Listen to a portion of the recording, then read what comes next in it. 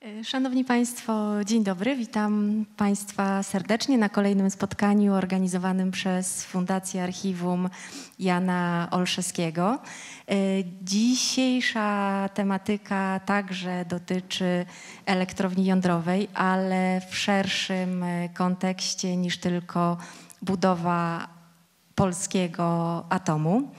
E, zapraszamy pana Adama Giburze-Czetwertyńskiego, e, który w latach 2019-2023 był podsekretarzem stanu w Ministerstwie Klimatu później Ministerstwie Klimatu i Środowiska, a także pana Piotra Naimskiego, pełnomocnika rządu do spraw strategicznej infrastruktury energetycznej w latach 2015-2022, sekretarza stanu w Kancelarii Prezesa Rady Ministrów. Bardzo e, dziękuję, nie będę przedłużać swojej wypowiedzi i oddaję głos naszym e, szanownym e, prelegentom. Dzień dobry. Dzień dobry Państwu. E, myśmy się umówili z panem ministrem, że dzisiaj sobie po prostu porozmawiamy, e, w, w tak powiem, mając Państwa za świadków, e, na temat tego, co dzieje się w energetyce jądrowej w szerszym kontekście, poza Polską. To znaczy, to znaczy jakie zmiany nastąpiły czy następują, czy możemy dalej przewidywać zmiany w podejściu do tego sektora energetyki.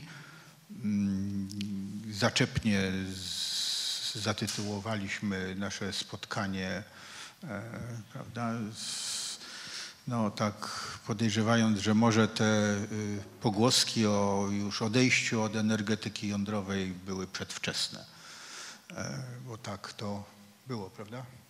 No, na, na, na pewno, to znaczy na pewno z mojej perspektywy, te moje cztery lata e, e, e, posługi, współpracy z, z, z panem ministrem w tym, w tym obszarze między innymi jądrowym, e, to jest trochę taki, taki wielki powrót do energetyki jądrowej, e, stopniowy powrót w Europie, e, ale jednak dramatyczna zmiana, bo ja pamiętam na, na początku byliśmy trochę no, sami z Czechami, z Węgrami, e, generalnie kraje z naszego regionu, e, przede wszystkim oczywiście by, byli też e, Finowie mówiące w Europie, że trzeba, trzeba pamiętać o energetyce jądrowej, o jej ważnej roli w, w transformacji naszej, naszej energetyki. Natomiast tam pierwszy rok mojej pracy jako wiceminister, czy może nawet półtora roku, to było takie przekonywanie francuskiego rządu, że jest, powinien być pierwszym zainteresowanym do mówienia głośno w Europie o, o tych sprawach. Trochę była mowa o tym wczoraj w, w dyskusji. Wiadomo, że po Fukushimie mm, nastroje społeczne w Europie się, się, się zmieniły i były obawy polityków, czy czy co dalej robić z, z atomem. Tak. tak. A Francja się dopiero zdecydowała stosunkowo niedawno, no niedawno tak. znaczy, że wraca do, do tego i buduje nowe bloki. To jest prawda. Znaczy, takie tąpnięcie w, w sprawie w ogóle podejścia do energetyki jądrowej, ono pierwsze się zdarzyło wtedy, kiedy jeszcze budowano całą serię nowych reaktorów. Na przykład we Francji realizowany był ten program budowy całego sektora, to były 70. lata. E, do dzisiaj z tego powodu Francja ma e, większość energii elektrycznej e, produkowanej z, z atomowych elektrowni, ale w 1979 roku wydarzył się wypadek. W ogóle bardzo mało wypadków się zdarza, czy awarii, można by powiedzieć, związanych z elektrowniami atomowymi. Y, ten, y, ta awaria, która, o której mówię, to była w Stanach Zjednoczonych. To była Three Mile, y, znaczy pod, niedaleko Nowego Jorku elektrownia, która się nazywała Three Miles Island i, i tam doszło do awarii, która nie miała skutków żadnych tak powiem, ciągnionych, nie doszło do żadnych skażeń, ale w każdym razie to był taki sygnał ostrzegawczy. I na przykład w Szwecji to spowodowało, że Mm, rząd szwedzki w, na początku 80. lat, 80 rok, 1980-81, rząd szwedzki w zasadzie zatrzymał rozwój energetyki jądrowej e, w swoim kraju. Ja jeszcze potem, jak będziemy rozmawiać, to wrócimy do tej Szwecji, bo ta Szwecja wydała, ja zacząłem czytać sobie więcej historii tych, tej szwedzkiej energetyki jądrowej i to w ogóle jest taki przykład e, może dla nas E, ciekawy, o, bo to, bo to jest blisko po prostu. No, ale, a potem był Czernobyl. A potem był Czernobyl w 1984 roku i to już był strach, prawda? A później była Fukushima. I ten ciąg zdarzeń, awarii, notabene w Fukushimie e, to mało kto wie, E, no bo wypadek był, ta awaria była bardzo, bardzo nagłośniona, zresztą była bardzo poważna, ale mm, tam zginął jeden pracownik, który zginął nie od z powodu radioaktywności czy atomu, tylko zginął dlatego, że pękła rura z przegrzaną parą wodną. I, i, i to, była, to była przyczyna. Ta awaria notabene w Fukushimie była spowodowana, to może warto powiedzieć, bo to są takie przykłady gdzieś tam ze świata, które, które może naszą wyobraźnię mogą pobudzać. E, kiedy budowano elektrownię w Fukushimie, to przewidywano możliwość tsunami. E, no bo to jest obszar tektoniczny, te trzęsienia ziemi się zdarzają zarówno na wyspach, jak i, jak i na wodach oceanu. No i jak jest trzęsienie ziemi na wodach oceanu, to zwykle ta fala powstaje, czasem dociera do wybrzeża, a czasem nie. E, I przewidywano i policzono, ile metrów powinna mieć ściana zaporowa, która będzie zbudowana, żeby ochronić elektrownię przed falą tsunami. No i to się okazało tych metrów sporo, koszt był duży i urzędnicy, którzy popatrzyli na dzieło inżynierów, powiedzieli, to jest za drogie i obniżono o kilka metrów. No i, e, i przyszła fala, która się przelała. I to było nie, trzęsie, nie samo trzęsienie ziemi, nie to, że ziemia się ruszała, nie, tylko po prostu przelała się woda z oceanu przez e, tę, przez tę zaporę. To tylko jest taki przykład, myślę, który wskazuje, że, że kwestie bezpieczeństwa i wyobraźni przy, przy określaniu tych progów bezpieczeństwa, przy budowie, no po prostu trzeba mieć szerokie widzenie tego, tego problemu. No i to, to, chyba, to chyba tyle.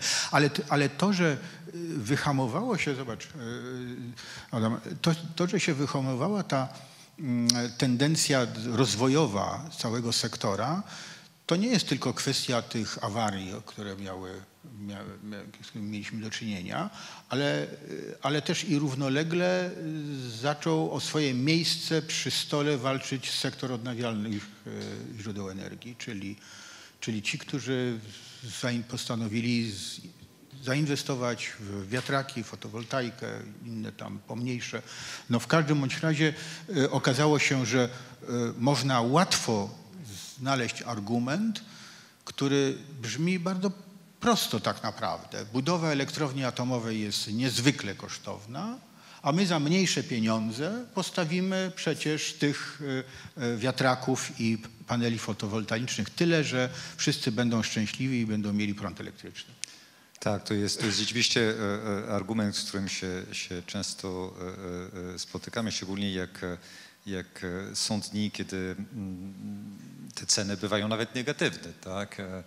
Na co ja zawsze mówię, że trzeba jednak mieć świadomość, że jakbyśmy mówili wszystkim inwestorom w wiatraki czy w panelach fotowoltaicznych, że no to będziemy im płacić 0 złotych e, za całą energię wyprodukowaną przez ich panele czy wiatraki, no to by żadne nie powstały, tak? To, to, więc ten, ten system nie może działać, jeżeli nie, nie, nie zapewnia e, dochodów, e, a to, że marginalny koszt w ciągu jednej godziny jest, jest tak niski, no, to nie jest, nie, nie jest po pierwsze reprezentatywny dla, dla całego okresu funkcjonowania tej, tej elektrowni, ba można się zastanowić, czy to jest w ogóle dobre dla, e, dla, dla systemu, bo to jeżeli by to trwało przez całą dobę, to by nikt nie inwestował e, w te moce, które są przecież e, potrzebne. I, i, i poza tym my zrobiliśmy tą, tą, to ćwiczenie wewnętrznie, kiedy przygotowaliśmy w Ministerstwie Politykę Energetyczną Polski. Szacowaliśmy, jakie są koszty poszczególnych e, e, technologii, tylko patrzyliśmy na to z perspektywy e, całych kosztów systemu, całych kosztów, które musi ponosić społeczeństwo czy, czy gospodarka, no bo nie można patrzeć tylko i wyłącznie na, na koszty inwestora w, tą, w ten blok czy w ten wiatrak, bo, bo trzeba przecież mu doprowadzać prąd do tego, do tego wiatraka czy do tego, do tego bloku. E, e, trzeba e, upewnić się, że mamy odpowiednią ilość transformatorów w całej sieci, że mamy ewentualnie źródła zapasowe na wypadek, kiedy trzeba wymienić paliwo w tym bloku, czy, czy kiedy nie wieje i, i ten wiatrak nie produkuje energii. I jak się patrzy na te wszystkie koszty systemowe, to wychodziło, że właściwie e, e, e, energia elektryczna produkowana no, praktycznie przez, bez przerwy przez blok jądrowy jest mniej więcej w takim lekko tańcza nawet niż, tak, tak, bo niż jeżeli takiego się jeszcze... połączenia OZE plus plus gazowa elektrownia, gazowa elektrownia na przykład. Dodatkowo trzeba jeszcze oczywiście w tych obliczeniach brać pod uwagę, że czas życia elektrowni jądrowej to jest, no, w tej chwili się zakłada 60 lat. Przedłużane to jest w tej chwili sukcesywnie w poszczególnych krajach i w stosunku do, do konkretnych elektrowni o kolejne 20 Y, lat nawet. Natomiast te odnawialne źródła, czy wiatraki, czy fotowoltaika, no po prostu w tym czasie trzeba by było wielokrotnie, trzykrotnie, czy może czterokrotnie wymienić. W związku z tym ten koszt inwestycyjny trzeba mnożyć.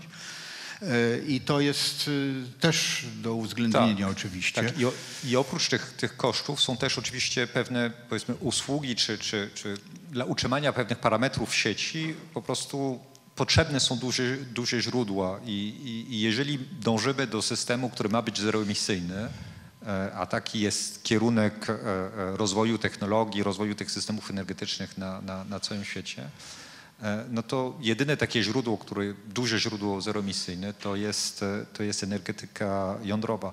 Ja zresztą jak, jak słuchałem i widziałem też ewolucję stanowisk państw członkowskich w tej kwestii, to, to widziałem przykłady dokładnie takiego, takiego myślenia, bo e, e, na, to jest dla mnie przykładem tego jest, jest, jest Dania. My mieliśmy, Dania jak wiadomo jest krajem, który się opiera na, na, na wiatrakach przecież i tak mocno zainwestowali jako pierwsi w tą, tą technologię, ale jak przyszedł e, na, na konferencję, którą organizowaliśmy jesienią 23 roku w Warszawie na temat bezpieczeństwa energetycznego przyszedł mój odpowiednik e, e, duński, to on powiedział, że oni nie planują inwestować co prawda w energetykę jądrową, ale rozumieją i się nawet cieszą, że inni no tak, sąsiedzi oczywiście. będą to robić. No oczywiście, bo, no bo będą... oni są w tej sytuacji przecież, że e, e, dzisiaj jak im nie wieje, no to mają rezerwuar e, e, mocy w postaci e, hydroenergetyki norweskiej. Tylko, że jak jutro w Niemczech nie będzie żadnych dużych źródeł zeroemisyjnych, no to Niemcy też będą potrzebować te źródła. Więc jeżeli nigdzie w sąsiednich państwach nie będzie tak, takich dużych źródeł, to oni dobrze wiedzą, że będą mieli, mieli problem. Więc się cieszą, że Szwedzi E, bo Szwedzi też wrócili, mówiliśmy o tym. No tak. Polacy będą stawiać tak. bloki e, jądrowe. Ja mogę e, dodać chyba, że kiedy zaczęliśmy liczyć, kiedy po prostu poprosiliśmy kolegów z NCBJ-u, czyli, czyli Narodowego Centrum Badań Jądrowych i z PSE, mm, o to, żeby stworzyli model do liczenia tego, tego wszystkiego, w kom, taki komputerowy model, czyli maszynę, która potrafi w włożeniu odpowiednich danych no, zaprojektować to co, się będzie, to, co się będzie działo za kilka czy kilkanaście lat mm, w tej dziedzinie energii, to i, I, poprosiliśmy, żeby to zrobili inaczej niż do tej pory. To znaczy, żeby właśnie cały koszt całkowity został oszacowany, żeby włożyć do tego, do tego równania również te elementy, które do tej pory były, e, były po prostu pomijane.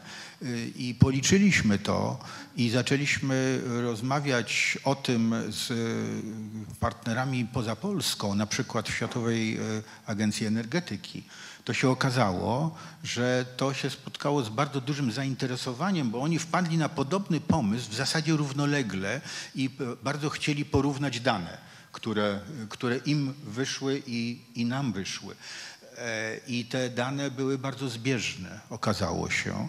E, również podobny przypadek mieliśmy z e, kolegami w Wielkiej Brytanii E, oni też podobnie policzyli i na tej podstawie zresztą to była jedna z przesłanek podejmowania decyzji w Wielkiej Brytanii o budowie nowych elektrowni jądrowych.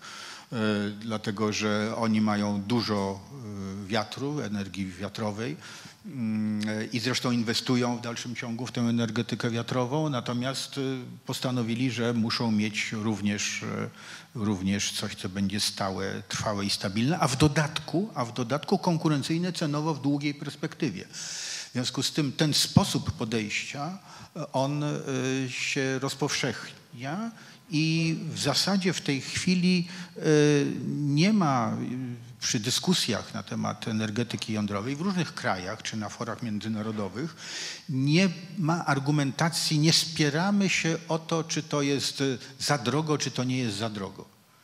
Możemy się spierać o to, czy która technologia jest lepsza, możemy się spierać o to, czy, czy dłużej, czy krócej się, się będzie budowało. No, jednym słowem o różne bardzo ważne skądinąd rzeczy, ale, ale nie o to, że to jest w ogóle za drogie i z tego powodu należy to e, odłożyć i nie brać, i nie brać tego pod uwagę. To się zmieniło, to się radykalnie zmieniło, a równocześnie jest tak, prawda, bo wracając do tego, mm, do tego połączenia mm, e, połączenia e, rozwoju energetyki odnawialnej, czyli tej zeroemisyjnej, dobrze energetyki odnawialnej z energetyką jądrową. Początkowo tak nie było.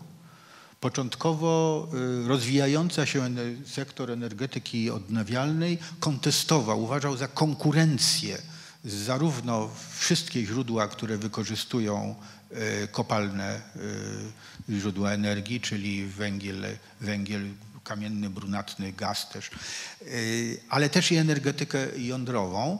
Y, I batalia o to, żeby to zmienić, była długa i w zasadzie rozstrzygnęła się całkiem niedawno, to znaczy w ciągu ostatnich być może czterech lat, prawda, y, czy pięciu, czy pięciu lat.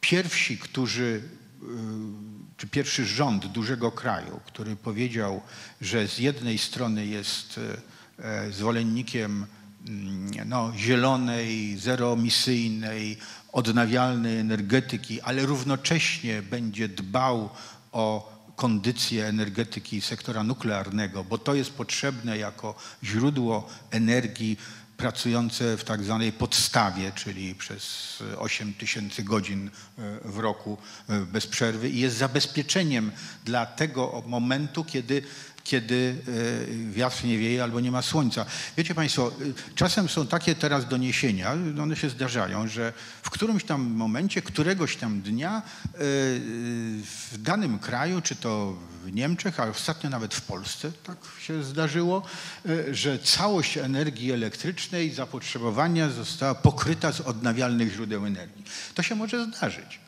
To się, to się zdarza, ale to oczywiście nie znaczy, że można by y, y, oprzeć y, zaopatrzenie w energię w kraju czy na kontynencie, w Europie już w całości o energetykę tylko i wyłącznie odnawialną, bo sprawność tej energetyki, to warto, to są cyfry.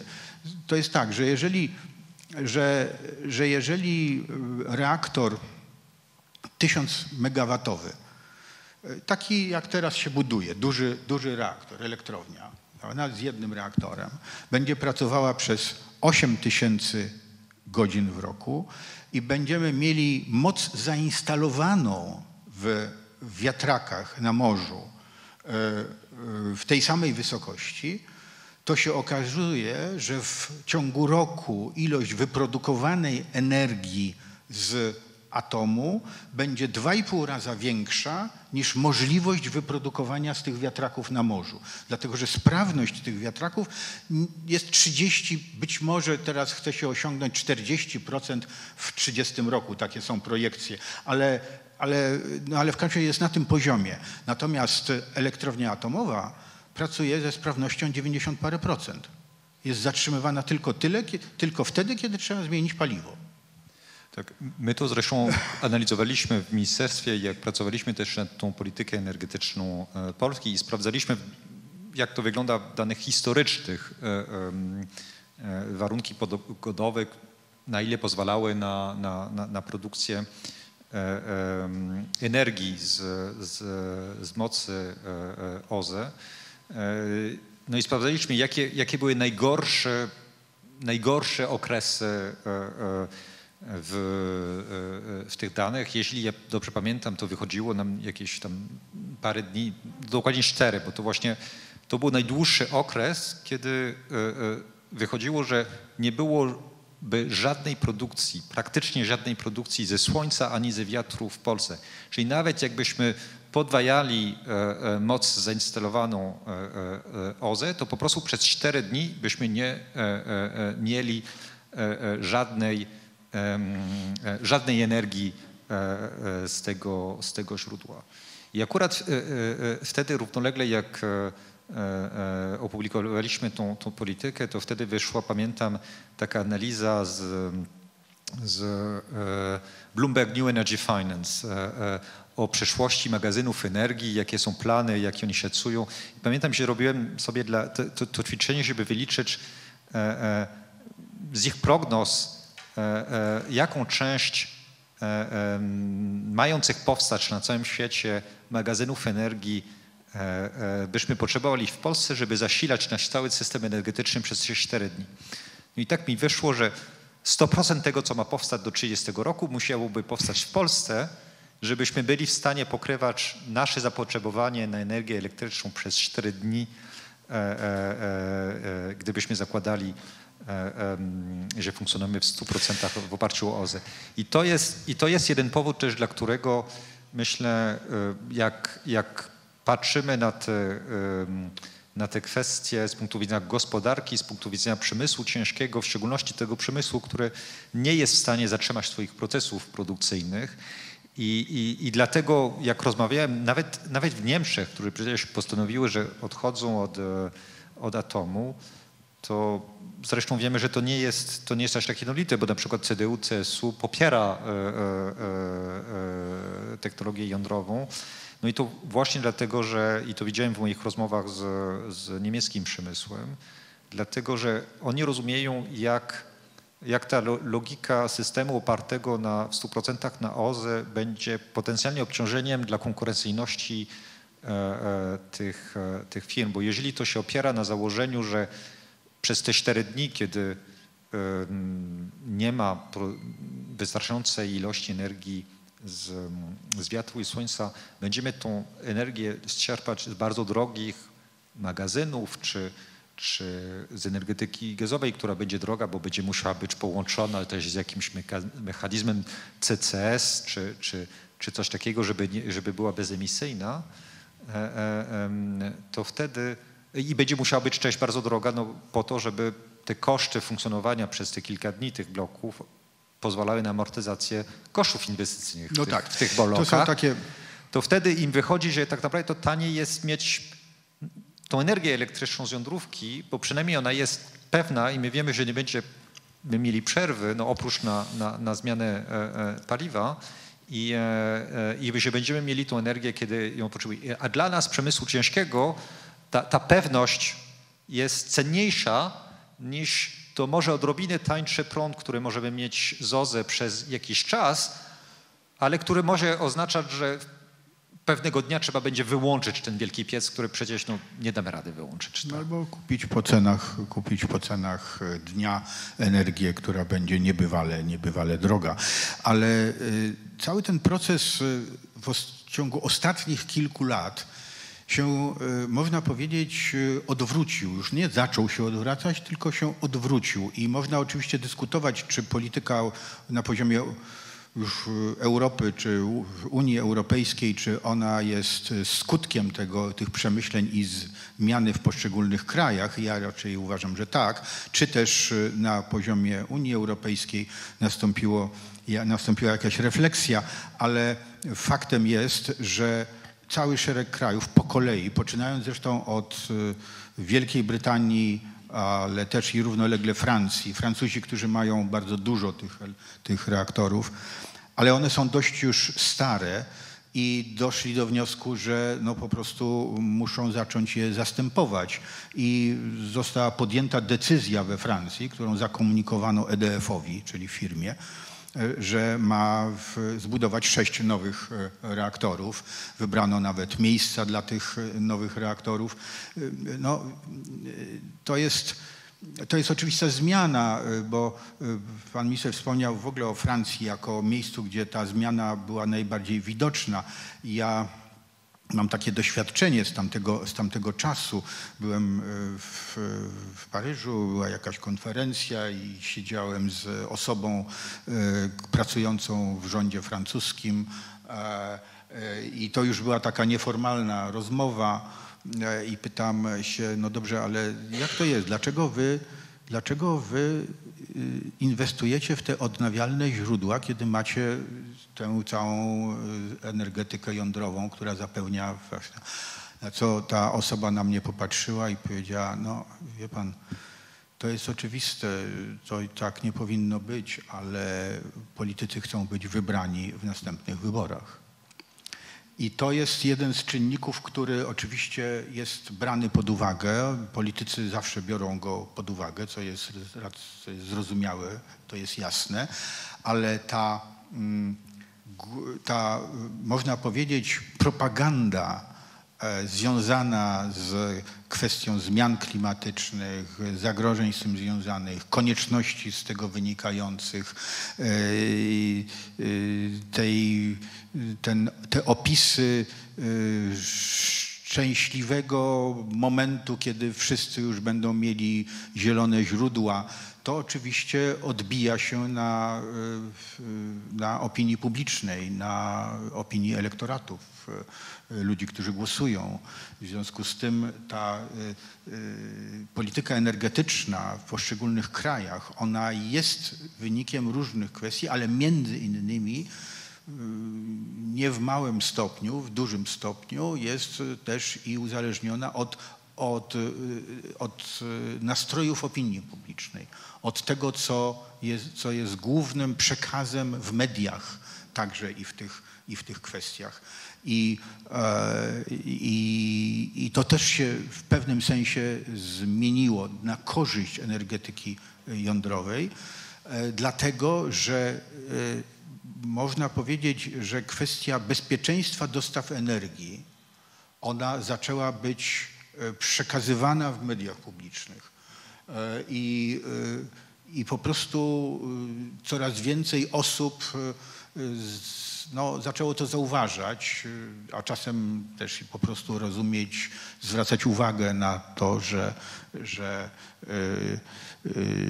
no, że to y, nie da się zrobić tylko jedną technologią, że zróżnicowanie, zróżnicowanie jeżeli chodzi o źródła energii, o surowce naturalne, jest konieczne, ale także jest konieczne zróżnicowanie na poziomie technologii, czyli sposobów produkcji prądu elektrycznego. I że jeżeli taką dywersyfikację na poziomie technologii się osiągnie, czy utrzyma, to to zapewni też bezpieczeństwo. Rezultat jest, jest bardzo spektakularny, dlatego że w Europie prawda, jest cały szereg krajów, które bądź podjęły decyzję, że budują elektrownie atomowe y, już, bądź y, rozważają poważnie taką możliwość. I to takie kraje, które byśmy o to y, na pierwszy rzut oka nie, ich nie podejrzewali, na przykład Holendrzy. Holendrzy mają jedną elektrownię atomową, dawno, dawno z temu zbudowaną. Ogólnie rzecz biorąc są krajem wiatraków, jak wiadomo, i to nie tylko energetycznych. I, i, i, I, bardzo to lubią, bardzo, bardzo są do tego wszystkiego przywiązani i równocześnie podjęli decyzję o tym, że projektują nową elektrownię e, atomową, dlatego że stabilność tego systemu jest dla nich bardzo bardzo cenna, a też i te kosztowe obliczenia, o których już wspominaliśmy, one wskazują, że to jest racjonalne także w płaszczyźnie ekonomicznej. I, w Belgii tak jest. I te, ten argument, myślę, właśnie środowiskowy, klimatyczny, który jest istotny rzeczywiście w tych, w tych społeczeństwach, czy skandynawskich, e, e, e Europy Zachodniej, Północnej, dużo bardziej niż, niż, e, niż, e, niż, niż na przykład w Polsce, E, bo tam to rzeczywiście jest jeden z głównych priorytetów wyborców. E, to jest argument, który jest, e, jest istotny także dla, dla, dla polityków i sądzę, że w pewnym momencie uświadomili sobie politycy, że tak naprawdę jeżeli chcemy na poważnie osiągać te cele klimatyczne, nie ma po prostu innej drogi. My musimy zbudować systemy zeroemisyjne, systemy energetyczne zeroemisyjne, E, e, bo... Stabilne. Stabilne, stabilne. też, ale, ale zeroemisyjne dlatego, że e, nawet jeżeli będzie jakieś pochłanianie przez, przez lasy możliwe, to będzie tyle różnych sektorów przemysłowych, w których ciężko będzie zupełnie ograniczyć emisję, że to pochłanianie, które będzie możliwe, będzie już potrzebne dla, dla tych sektorów. Więc potrzebujemy rozwiązania, które pozwala nam na, na produkcję prądu w sposób totalnie, totalnie bezemisyjny. A jeśli chcemy to zrobić, to ciężko jest to zrobić bez, e, bez energetyki e, e, jądrowej. Więc jeżeli chcemy osiągać nasze cele klimatyczne, to po prostu ta energetyka jądrowa jest nam potrzebna. I, i dlatego ta, ta, ta zmiana nastąpiła nawet właśnie w takich krajach jak, jak, jak Szwecja, jak Holandia. Z, z Belgią jest, jest, jest, jest o tyle ciekawie, że Belgia, można powiedzieć, w jakimś stopniu e, e, miała podobnie podejście jak, e, jak Niemcy, bo też ogłaszali zamknięcie swoich, swoich bloków jądrowych. No i niedawno, mm, rok temu, półtora roku temu, coś takiego, ogłosili, że jednak przedłużają 10 lat funkcjonowanie tych, tych bloków jądrowych. Oni swoją drogą też zaczęli funkcjonować. Mamy taką, taką grupę e, e, krajów jądrowych w Europie, e, gdzie rozmawiamy o wspólnych, o wspólnych naszych wyzwaniach i zaczęli uczestniczyć w tych rozmowach jako obserwator też. Dlatego, że oni wyliczyli po prostu, że, że ten koszt wyłączenia tych bloków jądrowych, kiedy nie ma jeszcze alternatywy, będzie zbyt, zbyt duży. E, e, e, te wyliczenia belgijskie nie zostały tam opublikowane, przynajmniej ich, ich nie widziałem, natomiast zostały zrobione niedawno przez norweski Uniwersytet Wyliczenia dla, dla, dla Niemiec I, i, i wyszło, że wcześniejsze zamknięcie bloków jądrowych w Niemczech kosztowało, czy zwiększyło koszt transformacji energetycznej o 330 miliardów euro.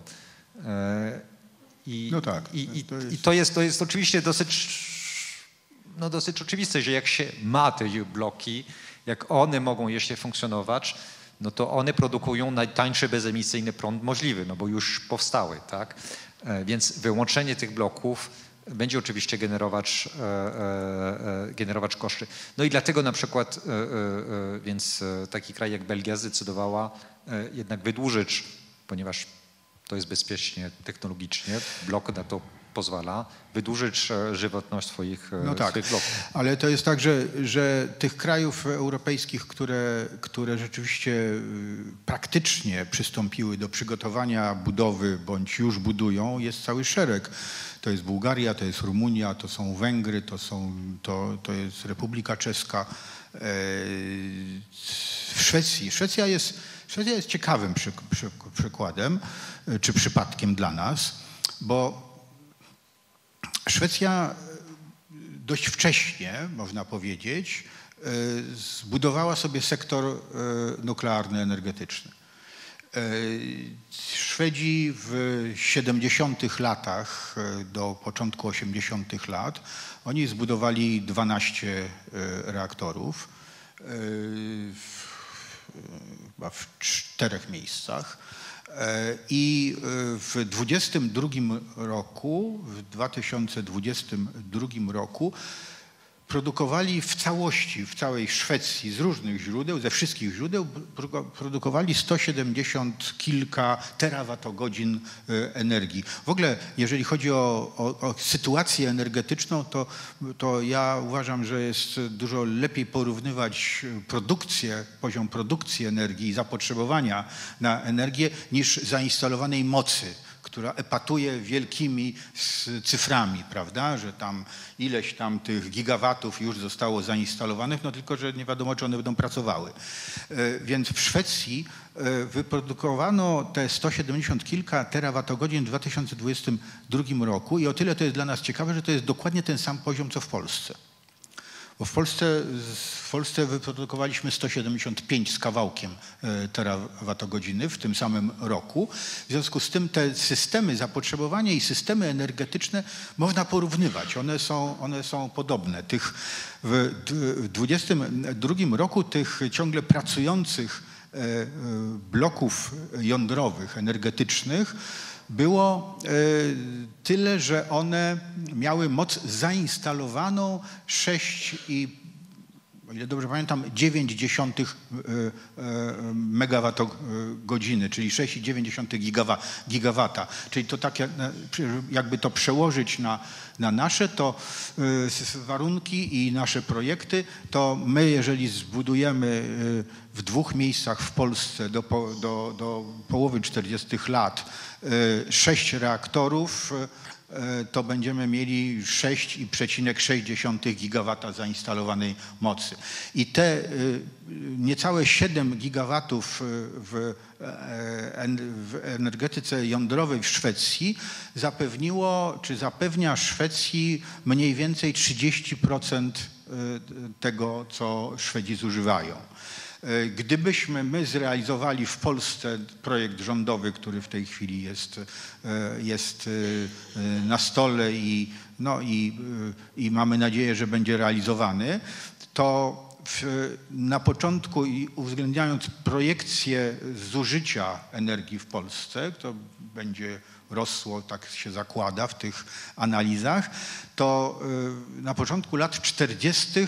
będziemy mieli 6,6 e, gigawata zainstalowanej mocy i pokryje to mniej więcej 20%, może 20 parę, no, ale w razie około 1 piątej zapotrzebowania na energię w Polsce i będzie tym e, istotnym zabezpieczeniem dla całego sektora odnawialnego, który też oczywiście będzie się rozwijał. Ale wracając do Szwecji. Szwedzi w 80 roku, na początku 80 lat postanowili, y, że jak wspomniałem, że oni już nie chcą mieć tej energetyki jądrowej, tylko zachowywali się racjonalnie. To znaczy najpierw postanowili, że do 2010 roku to oni wszystko zlikwidują, potem w 2010 roku e,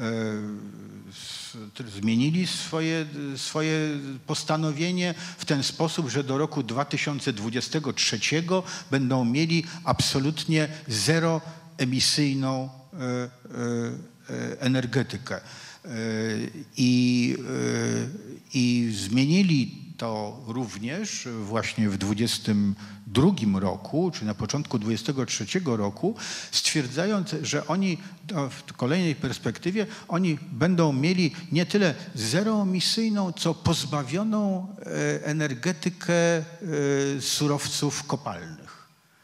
I to oczywiście jest decyzja, która otwiera pole do kolejnych manewrów. E, Szwedzi już postanowili, że zbudują dwa nowe reaktory do 1935 roku, czyli 2035 roku, dwa, dwie nowe elektrownie, dwa bloki, razem to będzie 2,5 gigawata, e, a w kolejnej perspektywie chcą zbudować 10 gigawatów w, energetyce jądrowej, tylko już w różnych technologiach. Oni zakładają, że być może w tym następnym etapie będą dostępne już małe reaktory i że będą, że będą te małe reaktory również instalowali, czy budowali, czy instalowali. Jednym słowem, zmienili o diametralnie, o 180 stopni, zmienili swoje podejście, swoją strategię w tym sektorze, czy, czy dla tego sektora. I dlatego to jest, to jest ciekawe. Oni, oni w dalszym ciągu w Szwecji e, politycy i zresztą z, chyba chyba po prostu Szwedzi, mm, są bardzo przywiązani do tej mm, ekologicznej gospodarki. E, to w różnych wymiarach się zresztą, e, czy obszarach się, się przejawia, e, więc mając to przywiązanie do, do, do tej do zeroemisyjności, do, do do wiary w to, że, że jednak klimat jest poważną kwestią, prawda, do zaadresowania, równocześnie zaakceptowali, akceptują tę y, zmianę w energetyce jądrowej i robią to bardzo praktycznie. Oni, oni y, y, kilka tygodni temu oświadczyli, że już nie dwa, tylko cztery reaktory będą budowali i w dodatku już zdecydowali o sposobie finansowania dla, e, e, dla tych inwestycji. E, w związku z tym to jest od decyzji do rozpoczęcia całego procesu okazuje się, że to bardzo, bardzo krótko trwa. Jest oczywiście, Adam, bo może o tym dwa słowa byśmy powiedzieli, bo, bo przy tym odnowieniu całego podejścia dla sektora w sensie w skali europejskiej, ale także w skali globalnej, mamy do czynienia z konkurencją. Technologii jest policzalna ilość, dostępnych technologii i właściciele tych e, technologii oczywiście między sobą konkurują. Konkurują z różnych powodów i my tego doświadczamy również. Nie? Tak, tak, ale sądzę, że, że e, pod tym kątem nawet jest e, tak jest. Nie, nie, jedna, nie jedna technologia, która obiecuje wspaniałe rozwiązania na, na, na, na przyszłość, ale myślę, że w naszej polskiej sytuacji i, i, i wielokrotnie o tym też rozmawialiśmy, jak, jak planowaliśmy naszą politykę energetyczną, my, my też wiemy, że my mamy po prostu taką sytuację, mamy taki stan naszych bloków węglowych, że my już potrzebujemy tą inwestycję, znaczy my musimy już budować coś, żeby mieć czym je zastąpić, bo one są na końcu swoich możliwości technicznych. Więc dla nas, e, i też była mowa o tym wczoraj w dyskusji, dla nas to, to bardzo istotne było, e, e, było to, żeby to była technologia, która jest sprawdzona, znaczy wiemy, że da się ją zbudować, Wiemy mniej więcej z jakimi problemami ona może się spotkać, bo już raz czy dwa e, ktoś próbował taki reaktor zbudować i wszystkie tam możliwe błędy popełnił właśnie na tym, e, na tym e, polu doświadczalnym, bo my, no, nie chcemy, nie chcemy stracić czasu na wypróbowanie nowych rozwiązań, które mogą tylko opóźnić realizację tych programu, pro, tego projektu, bo jest wystarczająco dużo problemów potencjalnych przy realizacji tak dużych, dużych projektów, że dodanie sobie problem jeszcze takiej nowej e, technologii po prostu to było ryzyko, które z polskiej perspektywy nie ma, nie ma sensu. Natomiast dalszej perspektywy mm, mm, są dodatkowe technologie nowe, które mogą się, się pojawić i część, część tych państw, które rozważają E, e, rozwój energetyki jądrowej właśnie rozważa takie rozwiązania, bo mają trochę też więcej czasu przed sobą i mogą poczekać na, na rozwój tych e, technologii. Najbardziej dojrzałe to są, to są te technologie SMR-owe, Ale...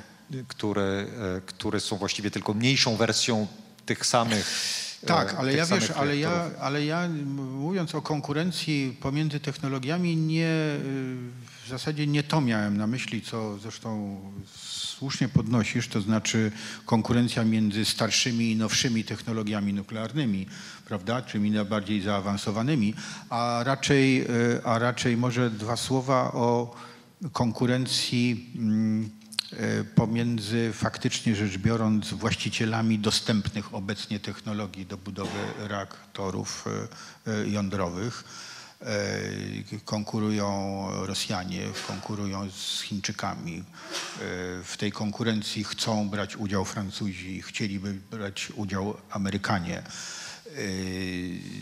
I w zasadzie no, i, Koreańczy, i Koreańczycy, i Japończycy. Japonia to jest w ogóle ciekawe, ciekawy problem, bo Japończycy nie tylko już się otrząsnęli z tego szoku po Fukushimie i od dłuższego czasu, już od kilku lat uruchamiają po kolei elektrownie, które zatrzymali po y, awarii w Fukushimie, ale budują nowy reaktor. Właśnie przystąpili do budowy nowego reaktora. Jednym słowem, ta, ta energetyka y, jądrowa w Japonii, ona się zupełnie odnowiła, czy jej podejście, podejście do niej się odnowiło.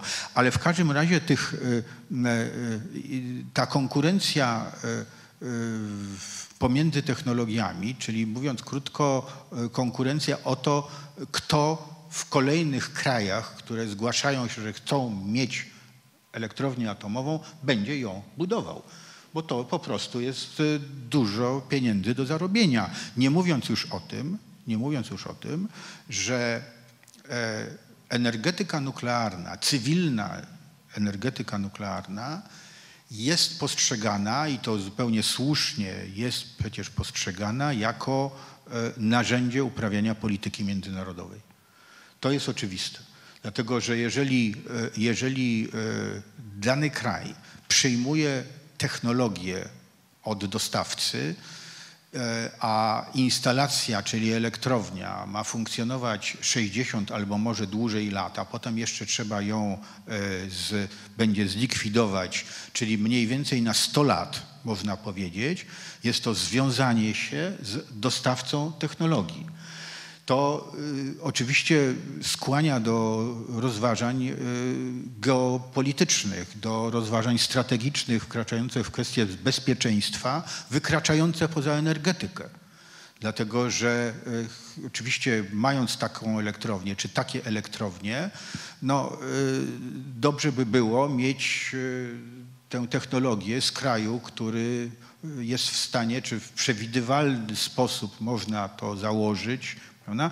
że będzie przez kilkadziesiąt lat bezpiecznym dostawcą części zamiennych i wszystkiego, co jest do eksploatacji potrzebne. E, to jest i oczywiście ten związek jest także w drugą stronę. E, I to dlatego e, przecież Rosatom, czyli, czyli rosyjski, rosyjski rząd, przychodzi do różnych krajów, prawda, i mówi, zbudujemy wam, a nawet sfinansujemy, czyli nie tyle sfinansujemy, co po prostu damy wam kredyty na to, na, na zbudowanie tej elektrowni i o nic się już nie musicie martwić, my, my wam to zrobimy. I tak, to, I tak to właśnie jest. Podobnie zresztą e, próbują postępować Francuzi, którzy przychodzą z takim, z takim można by powiedzieć, pakietem, tylko że, tylko że o ile Rosjanie, mogę dodać, niestety e, bywają wiarygodni w te, przy swojej ofercie, bo, e, bo determinuje tę ofertę żelazna wola politycznej ekspansji. I to jest, i to jest źródło, że tak powiem, tej efektywności. O tyle we Francji to jest pomieszane, bo to jest prawda, biznes, to jest tego, to musi, no, to jest, to jest państwo. No jednym słowem jest, jest w tej sprawie du, dużo, du, dużo gorzej. Y, no i jeszcze są Koreańczycy i są, i, są, i są Amerykanie. Wybór nie jest duży. Wybór dla tych, którzy chcą budować, wybór nie jest duży. Oczywiście można próbować samemu stworzyć technologię. To jest teoretycznie droga, którą można podejmować. E, e, mało prawdopodobna dla średniego kraju. Można się próbować mm, poruszać tak w tej kwestii jak Południowa Korea. Południowa Korea przyjęła technologię Westinghouse'a, amerykańską technologię i zbudowali sektor nuklearny energetyczny w Korei w oparciu o tę technologię, równocześnie ją adaptując.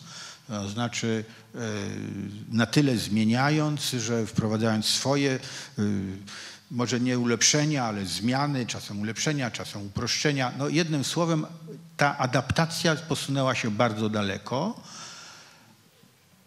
Koreańczycy uważają, że już mają w 100% swoją własną technologię, i tak ją oferują. No ale rezultat jest taki, że po wybraniu technologii koreańskiej w Czechach niedawno Westinghouse y, zaskarżył y, tę decyzję, twierdząc, że własność intelektualna nie w pełni należy do Koreańczyków, bo jest własnością Westinghouse'a. E, I to, y, to są te kłopoty, ale oczywiście y, udomowienie, jak to się mówi, prawda, technologii przyjętej, to jest bardzo słuszny kierunek. I to jest tak, że w, w Polsce, jeżeli będzie program realizowany, to nie tylko udział polskich firm w budowie czy w eksploatacji powinien być zapewniony i wzrastający, ale uważam, że powinniśmy też i zadbać o to, żeby w dziedzinie konstrukcyjnej, żebyśmy mieli e, coraz więcej do powiedzenia. To jest niełatwe, dlatego że oczywiście właściciel technologii pilnie strzeże swojego monopolu. To jest, to jest oczywiste. E, no w każdym razie ta konkurencja, ona, ona na przykład w Indiach przejawiła się w ten sposób. Indie to wielki kraj. Jak Hindusi postanowili, że e, chcą zbudować całą serię elektrowni atomowych, to, e, to okazało się, że chcą zbudować 24 e, reaktory. Równolegle 24 reaktory. I oni postanowili zrobić konkurencję wewnętrzną. To znaczy oni zwrócili się do Rason, do Rosatomu, do EDF-u, do, do Westinghouse'a i do Koreańczyków. Dali im tak po sześć. Prawda? O, i no, rezultat jest taki, że to jeszcze nie zaczęło. Ale, ale oczywiście Indie prawdopodobnie mając już własny przemysł nuklearny, bo mają przemysł nuklearny, mogą sobie na takie zróżnicowanie pozwolić. Tutaj wracam do naszego y, problemu, prawda? Tak, ja, ja, chciałem e, tutaj skomentować jeszcze e, ten wątek, bo to jest rzeczywiście bardzo istotny wątek udziału przemysłu krajowego w, w tym łańcuchu dostaw. On jest istotny przy, przy inwestycjach, które będziemy realizować e, w Polsce, ale jest też istotny w kontekście rozmów, które są, są i pomysły, które się pojawiają w, w Brukseli, bo kolejna warstwa, która się w której się e, te nastroje zmieniają także na poziomie instytucji unijnych, to są właśnie technologie e, e, SMR-owe, bo o ile Komisja Europejska nie deklaruje w kwestii dużych bloków jądrowych E, jakiegoś jasnego e, e, wsparcia dla tych, dla tych technologii, o ile w ostatnim, w ostatnim roku mniej więcej, półtora, zaczęła coraz bardziej śmiało mówić o konieczności rozwoju mm, rozwoju technologii SMR-ów w Europie. I tu z naszej perspektywy, myślę jako, jako Polska, to też jest istotne żeby w tych wysiłkach e, unijnych się upewnić, że to nie będzie tylko skupienie się na jednym, jednej technologii e, SMR-owej, bo tych technologii SMR-owych będzie pewnie kilka na całym, na, na, na całym świecie.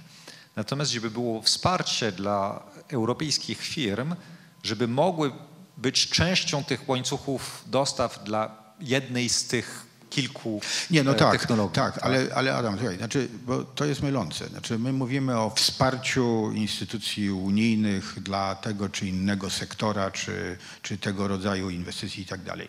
E, rzecz jest, znaczy to jest mylące, dlatego że, dlatego że Unia Europejska, czy Komisja Europejska, bo lepiej tak powiedzieć chyba, e, nie daje pieniędzy.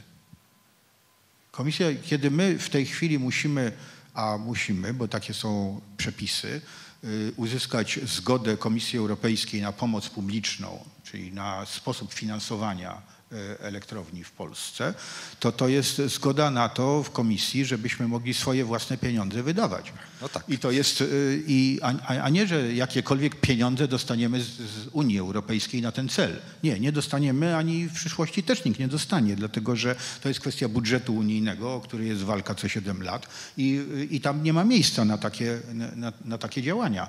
W związku z tym to nie o to chodzi. E, to wsparcie jest raczej wsparciem regulacyjnym czy wsparciem politycznym. E, I to czasem bywa ważne w tym sensie, że kolejne regulacje mogą e, nie tyle pomagać czemuś, co blokować coś innego. I to też jest kłopot, z którym który trzeba brać pod uwagę. Ale wracając, wracając do tego, mm, no, do tej, zacząłem mówić o tym, e, tej technologii, która, która jednorodnej technologii. Znaczy, znaczy, czy kraj jest gotowy na to, żeby, żeby podjąć równolegle budowę e, bloków e, jądrowych, energetycznych, czyli reaktorów i elektrowni w różnych technologiach. Otóż to jest to oczywiście teoretycznie jest możliwe i można stworzyć taką, myśleć o stworzeniu takiej sytuacji, że tu będzie taka konkurencja, kto szybciej zbuduje, prawda? W jednej technologii no, Amerykanie budują na wybrzeżu, a może ktoś w innej technologii będzie budował w centralnej Polsce i zobaczymy, kto będzie lepiej budował, prawda? No to, to, to dobrze brzmi, ale jest, ale jest bardzo trudne do zrealizowania, dlatego że e, e, budowa już jednej elektrowni, to jest, warto sobie to wyobrazić, to jest e, w pewnym momencie, długim momencie, no powiedzmy 8-10 tysięcy ludzi pracujących na placu budowy. E, trzeba tych e, pracowników mieć, mieć po prostu w kraju. To jest tak, że jak Amerykanie budowali dwa bloki ostatnie, które zbudowali właśnie AP1000 Westinghouse'a w Vogel w Georgii, to w pewnym momencie mieli problem z ludźmi do pracy. E, ściągali ludzi do pracy z całych Stanów Zjednoczonych, bo w Georgii oczywiście ich nie wystarczyło. W związku z tym, e, i to jest jedna, jedna rzecz. Druga rzecz to jest to, jest, to, jest, to są wszystkie kwestie regulacyjne, licencjonowanie technologii i tak dalej. I jeżeli sobie wyobrazimy e, Państwową Agencję Atomistyki, która będzie miała równolegle przeprowadzić licencjonowanie dwóch albo trzech technologii nuklearnych, no to, to jest karkołomne zadanie. Karkołomne zadanie.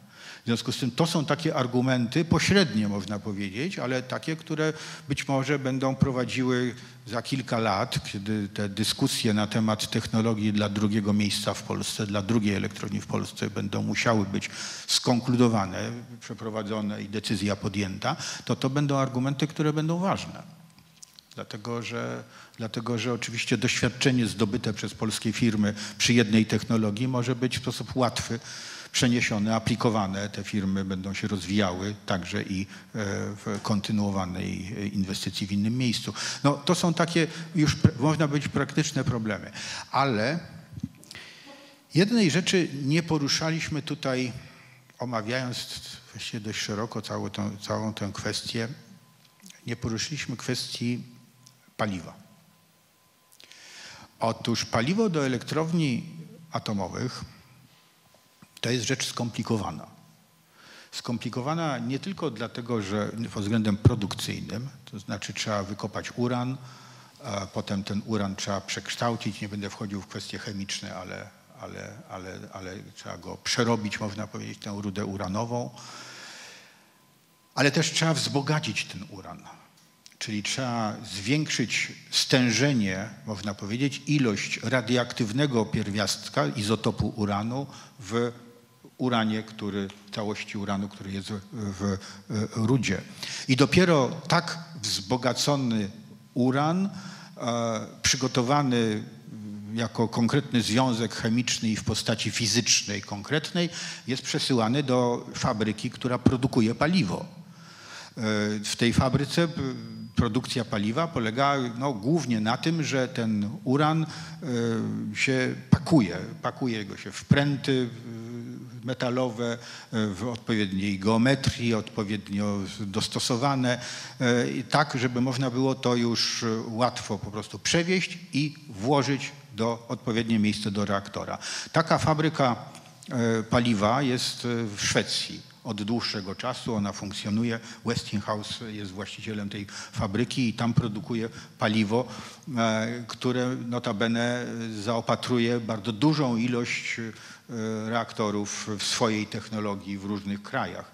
I to jest ten łańcuch, e, można powiedzieć, produkcji paliwa, to jest znowu miejsce, gdzie otworzyły się pewnego rodzaju monopole dlatego że, dlatego że rudy uranowej jest dużo w świecie.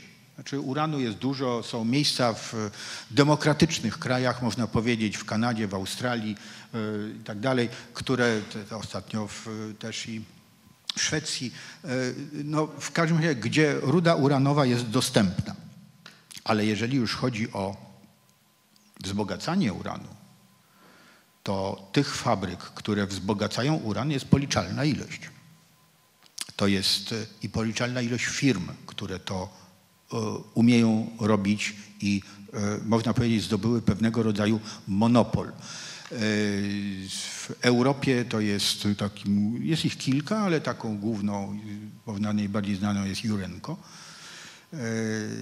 Ta fabryka jest w, w Wielkiej Brytanii, ale też i Francuzi mają, mają swoją fabrykę wzbogacania, wzbogacania uranu, bo każdy kraj nuklearny, tak to, tak to nazwijmy, dbał o to, żeby być samowystarczalnym, żeby mieć cały łańcuch paliwowy u siebie. Prawda? Znaczy, żeby nie uzależnić się. No i teraz powiedzcie Państwo, kto się uzależnił? No? Stany Zjednoczone i Unia Europejska. Dobrze, dobrze, niech pan pozwoli, niech pan pozwoli. Unia Europejska to zależy, Stany Zjednoczone rzeczywiście, ale dlaczego tak się stało? To jest e, oczywiście wygodnictwo i rachunek ekonomiczny.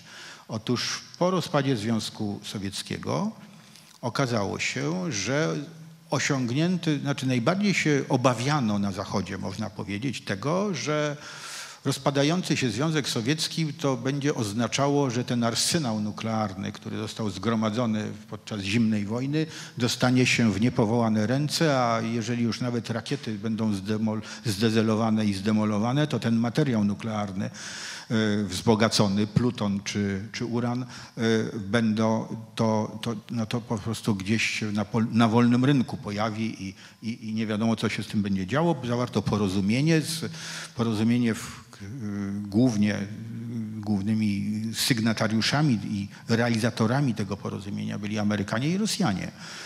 I Amerykanie uzyskali kontrolę i gestię nad y, tym materiałem rozszczepialnym z głowic sowieckich czy, post, czy postsowieckich. I co to oznaczało? To oznaczało, że kupowali te, bo oni płacili za to, kupowali ten materiał, wzbogacony uran rzeczywiście bardzo wysoko wzbogacony uran. Wystarczyło ten wzbogacony uran rozcieńczać i mieć paliwo do elektrowni atomowych i do użytku, do użytku cywilnego. No ale to źródło się wyczerpało. No, no bo no, po prostu się wyczerpało. Już nawet nie dlatego, że sankcje, że te, prawda, no, tylko po prostu te, te, te, te rakiety, te głowice zostały przerobione. No i nagle się okazało, że w Stanach Zjednoczonych y, zaczęto bić na alarm, że tutaj właściwie nie ma w Ameryce zdolności do wzbogacenia uranu, znaczy do, do, do produkcji paliwa. Niedaleko szukając, bardzo niedawno rząd amerykański przeznaczył 2,7 miliarda dolarów na zbudowanie dwóch fabryk. No i można, pod, można przypuszczać, że kiedy Amerykanie już podejmują taką decyzję, że coś trzeba nadgonić, że coś trzeba zrobić, no to to będzie zrobione. Znaczy to zabierze tam dwa czy, czy trzy, czy może, czy może cztery lata.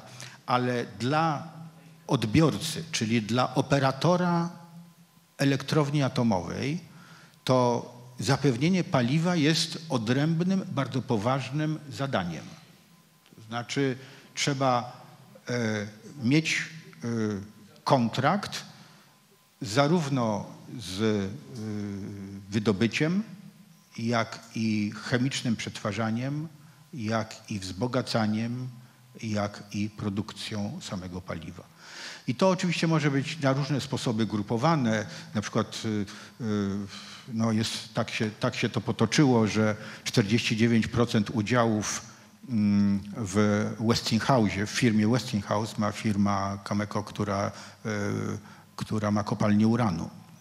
E, a Westinghouse ma z kolei spółkę córkę, która się zajmuje procesowaniem tego, tej, tej, tej rudy. No ale, ale ostatni przypadek, który, który możemy obserwować, bo my obserwujemy bardzo dokładnie, mam nadzieję, że to samo robi spółka Polskie Elektrownie Jądrowe i odpowiednie władze, ale my obserwujemy dokładnie, co się dzieje dookoła i na przykład w Bułgarii no dosłownie dwa tygodnie temu chyba, czy może trzy tygodnie temu, została podpisana e, przy, w obecności ambasadorów, zresztą e, ministrów, a też i oczywiście spół, przedstawicieli spółek, e, taka wiązana umowa. To znaczy w jednym momencie podpisano kontrakty z firmami, które właśnie wydobywają, przerabiają, wzbogacają i, produku, i, i produkują. Czyli ten cały łańcuch paliwowy został, został skupiony. To wymaga, wymaga negocjacji, wymaga rozeznania e, i oczywiście powinno być e, e, faktycznie rzecz biorąc rozpoczynane odpowiednio wcześnie. Dlatego, że dzisiaj sytuacja jest taka, że kontrakty na wzbogacanie uranu są podpisywane na, z terminem na za, no, ponad 4 lata.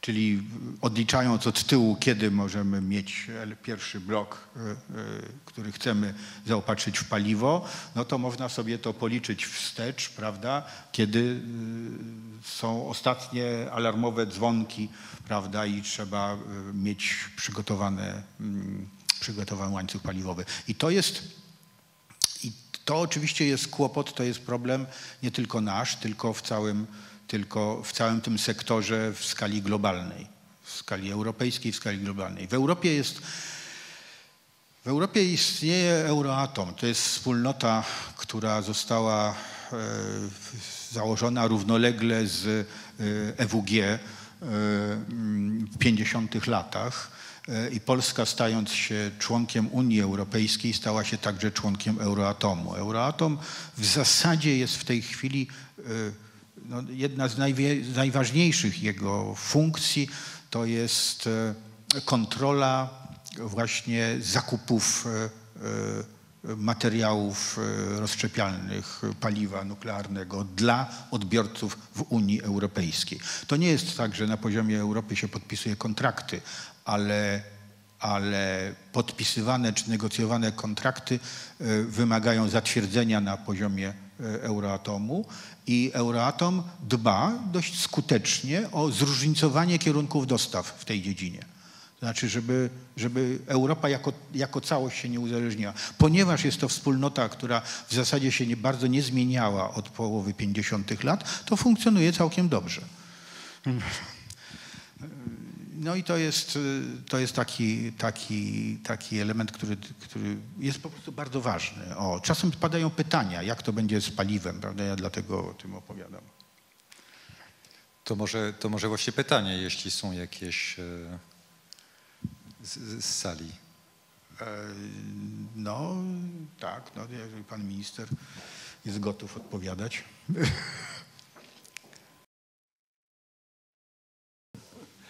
Ja mam, ja mam takie pytanie dotyczące pewnych y, działań, nazwijmy je sabotażowych, może w pewnym cudzysłowie. Mianowicie, jeśli chodzi o te zmiany klimatyczne i ten gazy cieplarniane, to to wymyślono, nie wiem, chyba na początku XVIII wieku taki szwedzki człowiek, Arynius, czy jakoś tak się nazywający, coś sobie takiego wymyślił. I ja słyszałem, nie wiem, czy to jest prawdziwa historia, że zaczęło się od tego, że kampanie wschodnio, na wschodnim wybrzeżu i na zachodnim wybrzeżu jedne robiły, e, e, używały węgla, a drugie używały e, CO2, znaczy gazu. I w związku z powyższym oni zaczęli mówić, że oni nie zaśmiecają atmosfery i to była działalność konkurencyjna poza jeszcze jakimikolwiek naukowymi stwierdzeniami.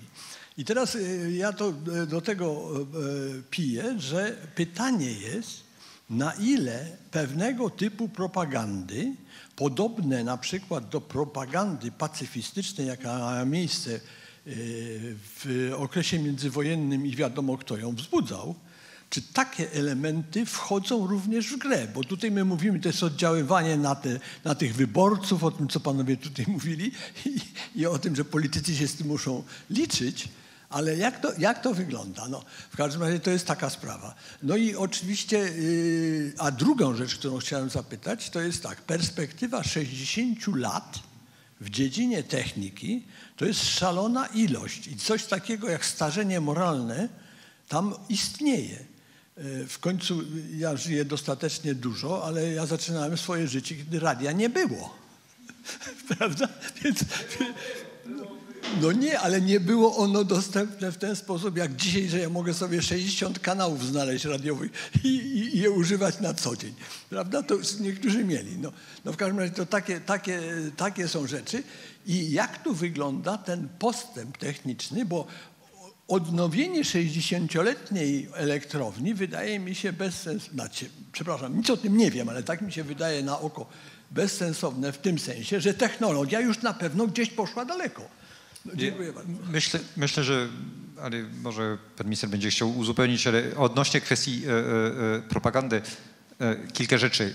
Jeśli chodzi o kwestie klimatyczne, środowiskowe i, i, i tak dalej, czy myślę, że z naszej polskiej perspektywy one nawet nie mają tak dużego znaczenia. Nie tylko, że nie mają tak dużego znaczenia w społeczeństwie, tylko nie mają tak dużego znaczenia w naszym myśleniu. My po prostu mamy bloki węglowe, które są w takim stanie technicznym, że się kończy ich żywot. Trzeba ich czymś zastąpić.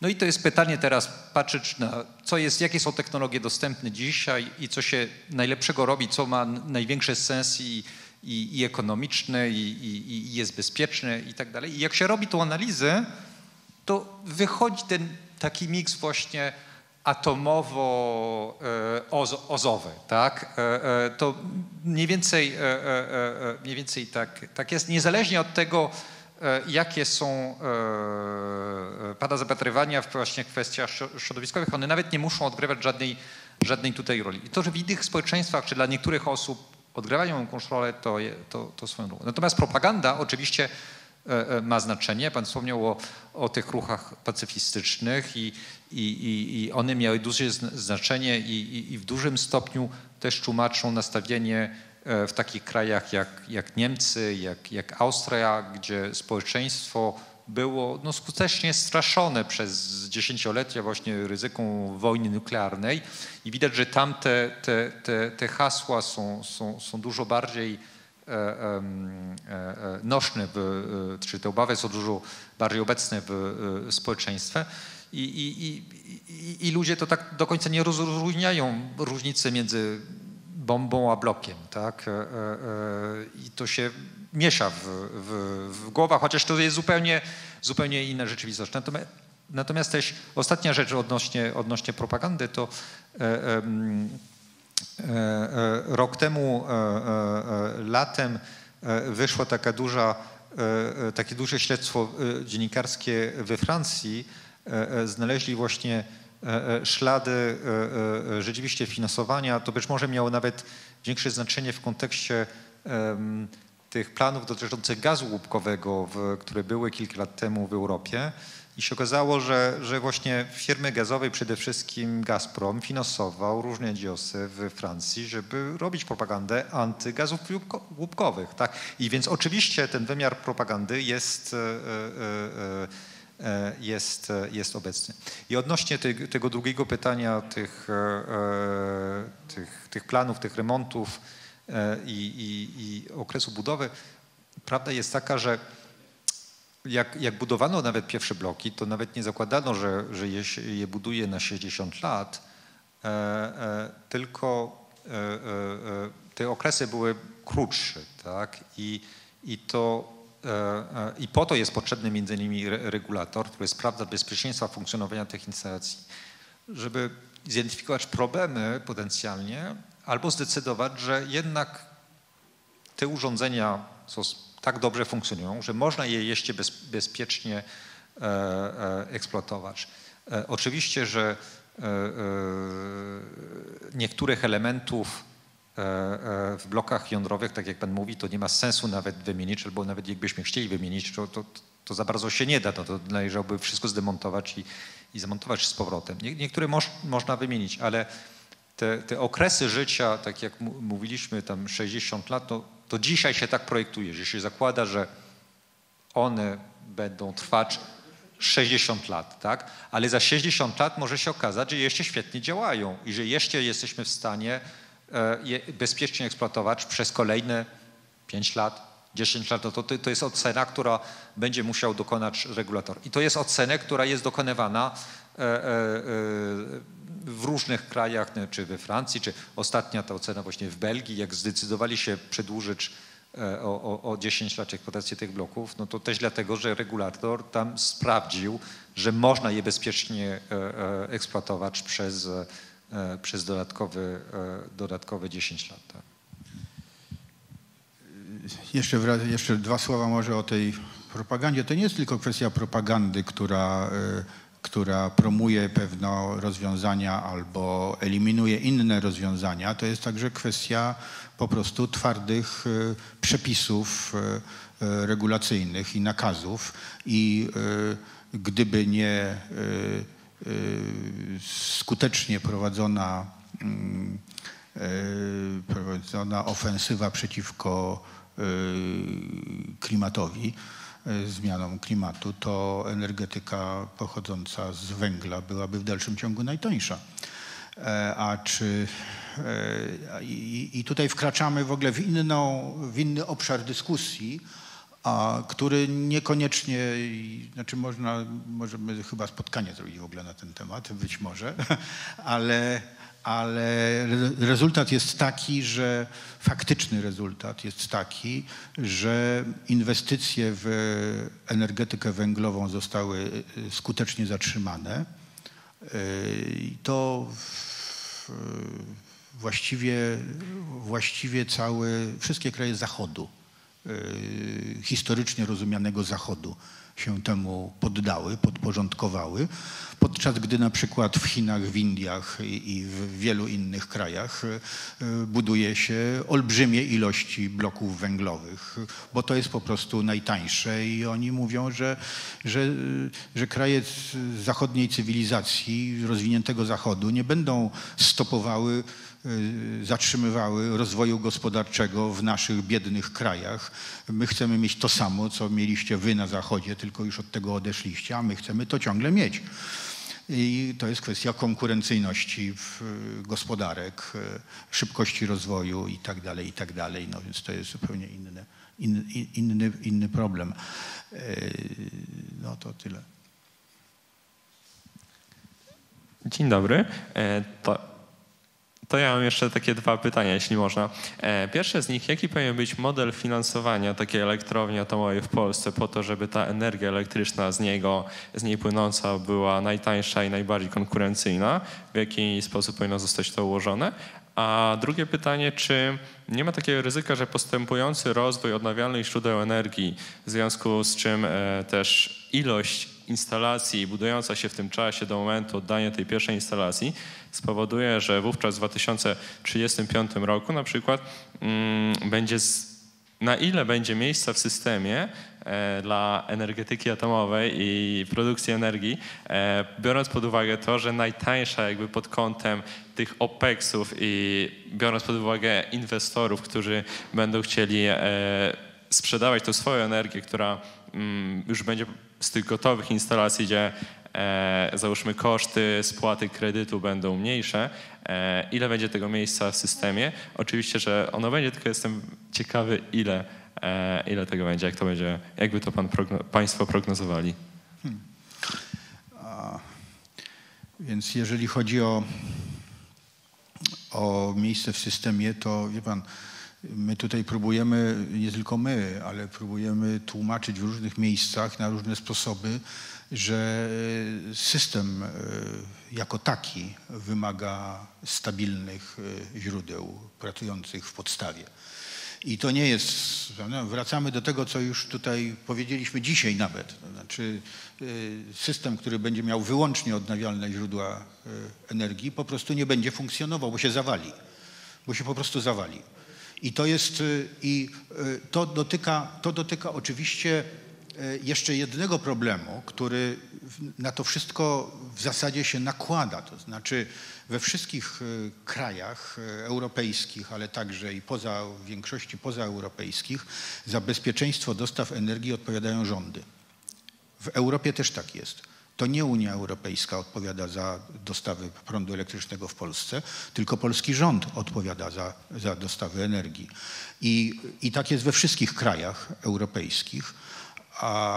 I, e, I to powoduje, że e, no, różne skutki, ale e, na przykład każdy rząd, także polski rząd, jeżeli ma za coś odpowiadać, ten minister, który za to jest y, odpowiedzialny, to on musi mieć narzędzia do tego, żeby móc egzekwować różne kwestie, różne posunięcia, które to bezpieczeństwo zapewnią.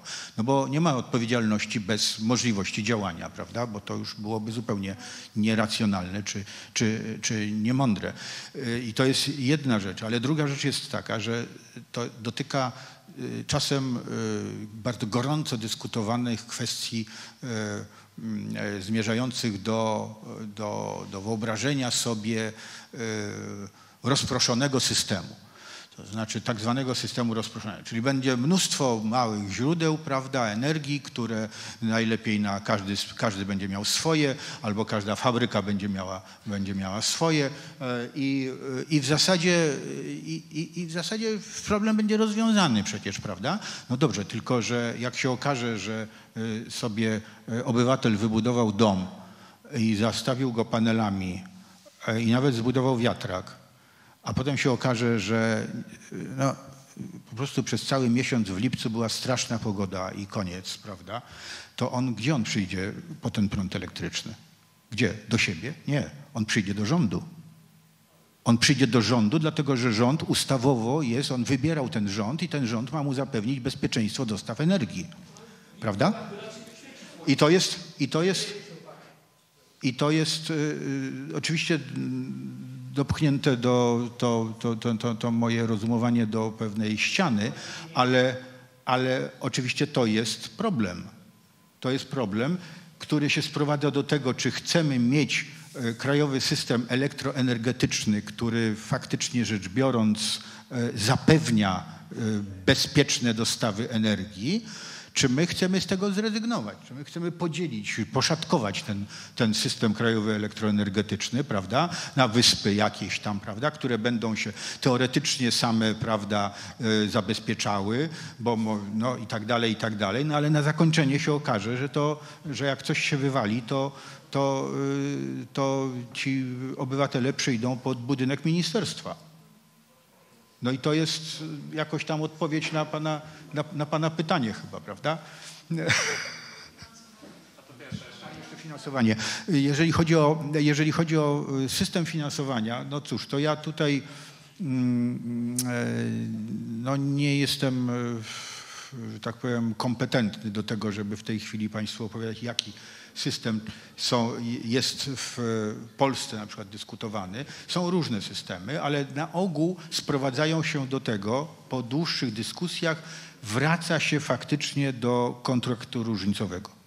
to znaczy do finansowania e, częściowo z kapitałowego, z gwarancjami bądź w gotówce, bądź w gwarancjach zwykle państwowych, prawda? Bo tak się buduje duże elektrownie e, atomowe i jest e, określony procent z który, finansowania, które pochodzi finansowania dłużnego, czyli, czyli po prostu kredytów zaciągniętych. No i musi być system E, który pozwala w sposób wiarygodny e, określić e,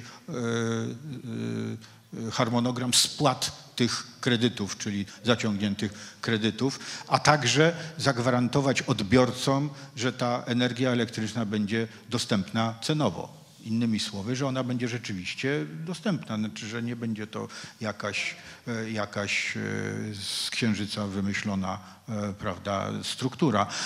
No i, i wydaje się, że, że kontrakty różnicowe zwyciężają. To jest, to jest jeszcze, może być uzupełniane na różny sposób zresztą przez kontrakty długoterminowe na odbiór energii. I to, to mogą być, no w Finlandii zastosowano na przykład taki system, to znaczy, że porozumiały się duże firmy, duży, duzi odbiorcy, którzy, którzy podpisali długoterminowe kontrakty z elektrownią jądrową, no i w tych długoterminowych kontraktach zostały zabezpieczone zarówno cena, jak i E, jak i ilości dostaw i tak dalej, i, i, i tak dalej. No, y, to można próbować pomieszać.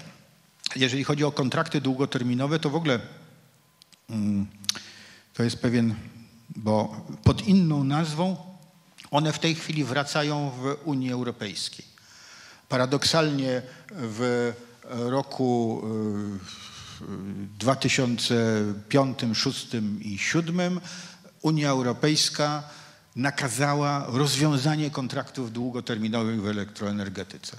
I kontrakty długoterminowe, które istniały w Polsce, one zostały rozwiązane, cały system został, został zmieniony. No teraz się okazuje, że e, stabilność całego, całego systemu e, w zasadzie prowadzi do tego, żeby przynajmniej w niektórych przypadkach, w jakiejś tam formie, prawda, ale żeby nie odrzucać takiej możliwości. No zobaczymy, jak to, jak to będzie. W każdym razie system finansowania jest też, jeżeli chodzi o, o, o Unię Europejską, jest też notyfikowany w Komisji Europejskiej. Ja myślę, że będziemy, panie ministrze, kończyli, bo, bo y, półtorej godziny to, prawda, my możemy długo oczywiście rozmawiać na ten temat, ale, ale to przełożymy na następne, na następne ewentualnie spotkanie. Dzięki.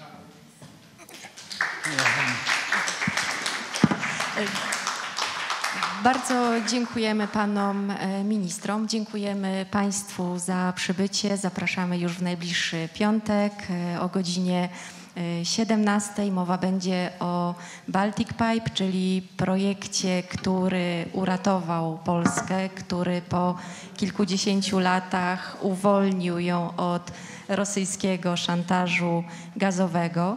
Tradycyjnie dziękujemy Narodowemu Instytutowi e, Wolności, dziękujemy Muzeum Żołnierzy Wyklętych. E, zachęcamy do pobrania ulotek e, informujących o możliwości zwiedzania tego wyjątkowego miejsca i serdecznie dziękujemy portalowi blogpress.pl, który realizuje relacje filmowe i dzięki któremu nasze spotkania mogą docierać do tysięcy osób. Bardzo Państwu dziękujemy i zapraszamy już w piątek.